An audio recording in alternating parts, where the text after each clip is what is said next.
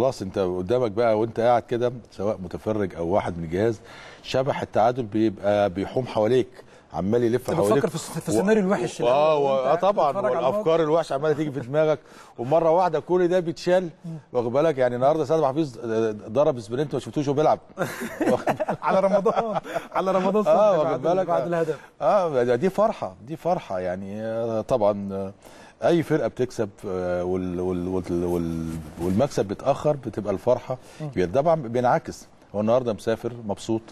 آه أنا بحكي لك على حالة لعيبة النادي الأهلي. النهارده آه الجدول بيقول اللي هو متصدر الدوري. أول مرة في أول مرة منذ انطلاقه آه لكن الدوري العام. الواقع الواقع لأن إحنا ماشيين بهذا الكلام من أول السنة.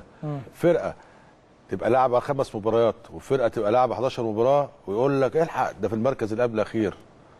يا جماعة طب ما في لسه صح ماتشات في ماتشات مؤجلة. ده الجدول الوهمي اللي اتحط اللي ضغط إدارات أندية كتير جدا